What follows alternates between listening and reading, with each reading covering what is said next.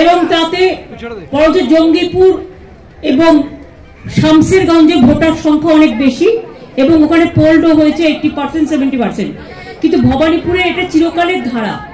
আমি যখন উনিশশো এগারো সালে মুখ্যমন্ত্রী হিসেবে বাই ইলেকশনে কন্টেস্ট করেছিলাম, তখন আমি চুয়ান্ন হাজার ভোটে জিতেছিলাম রেকর্ড ব্রেক করে।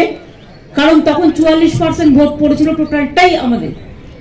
এবং দু হাজার ষোলোতে আমি জিতেছিলাম সম্ভবত পঁচিশ ছাব্বিশ হাজার ভোটে এবং গত জেনারেল ইলেকশনে শোভনদেব চট্টোপাধ্যায় এই সাতান্ন পার্সেন্ট ভোটে পোল হয়েছিল, তাতে উনি আঠাশ হাজার ভোটে জিতেছিলেন।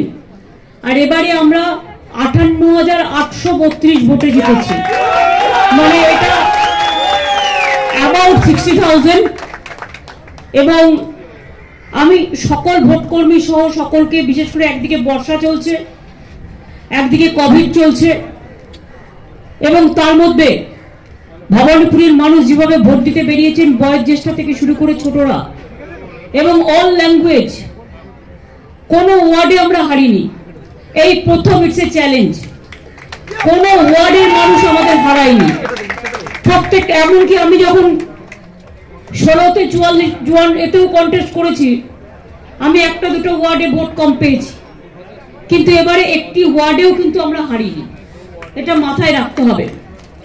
আর ভোট ভবানীপুরের ভোট পার্সেন্টেজ হচ্ছে forty six percent non Bengali বাদ বাকি বাঙালি আছে, মুসলিম আছে, পাঞ্জাবি আছে, গুজরাটি আছে, মারাঠি আছে, উড়িয়া আছে, সবাই মিলিয়ে আছে।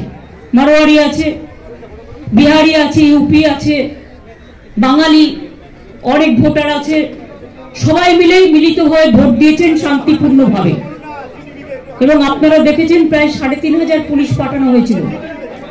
ভবানীপুরে এই ছোট্ট জায়গায়, এই ছোট্ট ইলেকশনটা করার জন্য। জায়গাটা ছোট্ট, কিন্তু তার বৃত্তটা অনেক বড়।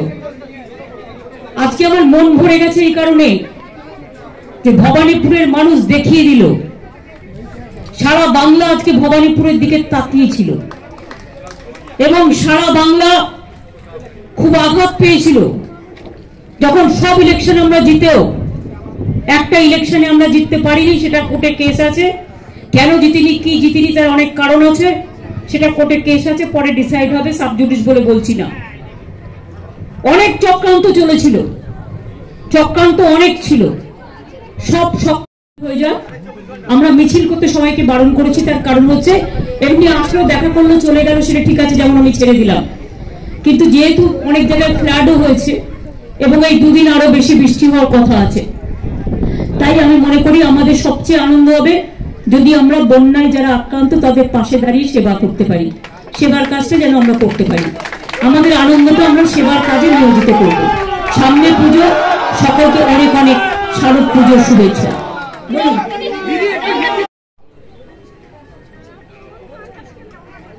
সরি নামটা একটু ভুল হয়েছে বোধ কিশোর গোস্বামী। ওরা গোস্বামী পরিবারের এবং ঠাকুর পরিবারের আর কি ওদের সাথে সম্পর্কিত। সুতরাং খুব ভালো ক্যান্ডিডেট হয়েছে। শান্তিপুরের মানুষের কাছে আমরা আবেদন করব। এবার ভোটটা আমাদের দিন। বিজেপিকে দিয়ে কোনো লাভ নেই। ওর বত্রিশ বছর বয়স। উদয়ন গুহ দাঁড়াচ্ছেন দিনহাটাতে। এবং খর্দায় দাঁড়াচ্ছেন শোভনদেব চট্টোপাধ্যায়। এবং গোসাবায় নামটা আমি ডিক্লেয়ার করব, একটু পার্থ আর বক্সির জন্য অপেক্ষা করছি। এই তিনটি নাম আলোচনা করে ক্লিয়ারেন্স হয়ে গেছে, আমি একা কিছু করি না।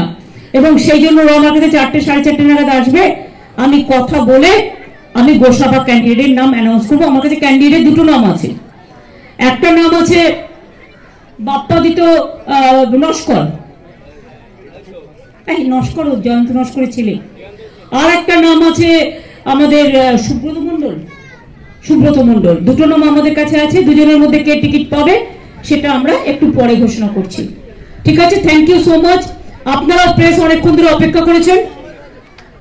আপনাদের সবাইকে বলব, আকাশে মেঘ, বজ্রধ্বনি, জীবনের ঝুঁকি নিয়ে কিছু করবেন না। জুগিয়েছেন নতুন করে প্রেরণা জুগিয়েছেন আরও কাজ নতুন করে করবার জন্য ভবানীপুরের মানুষ আজকে আমাকে যে উৎসাহ দিয়েছেন, আমি চিরঋণী, আমি চিরকাল, আমি শুধু নয়, আমার দল থেকে শুরু করে আমাদের তৃণমূল কংগ্রেসের সব পরিবার থেকে শুরু করে সারা বাংলার মানুষের পরিবারের থেকে শুরু করে আমরা সকলে তাদের মনে রাখব। আমাকে অনেকে বলছিলেন, ভি দেখাতে আমি ভি দেখাবো না, আমি তিনটে দেখাবো। তার কারণ আমি তো একা লড়ছি না। আমার সাথে আমার আরও দুটো কলিগ লড়ছে। আমি এত সেলফিস নই। আমার জঙ্গিপুরে মন পড়ে আছে শামসেরগঞ্জে মন পড়ে আছে। কাজে আমি তিনটে দেখাবো। থ্রি মিনস আমরা তিনটে সিটে লড়াই করছি। থ্রি মিনস আমরা তিনটে সিটে লড়াই করছি। তিনটে সিটে আমরা লড়াই করছি। জঙ্গিপুর শামসেরগঞ্জ ভবানীপুরের রেজাল্ট আউট হয়ে গেছে। জঙ্গিপুরেও আমরা পঁয়তাল্লিশ হাজারের বেশি ভোটে জিতছি। এখন হয়তো আরও বেড়ে গেছে। পঞ্চান্ন হাজার হয়ে গেছে, ওখানে ভোট অনেক বেশি পোল্ড হয়েছে। আর শামসেরগঞ্জেও কত হয়েছে? শামসেরগঞ্জেও আমরা প্রায় পনেরো হাজার ভোটে জিতছি। কাজেই এক, দুই, তিন, মানুষকে ধন্যবাদ দিন। মামাটি মানুষকে ধন্যবাদ দিচ্ছি, কৃতজ্ঞতা জানাচ্ছি। এরপর আমাদের চারটে ইলেকশন আছে বাই ইলেকশন আমি আজকে এই শুভ দিনে বাই ইলেকশন চারটে নাম ঘোষণা করতে চাই।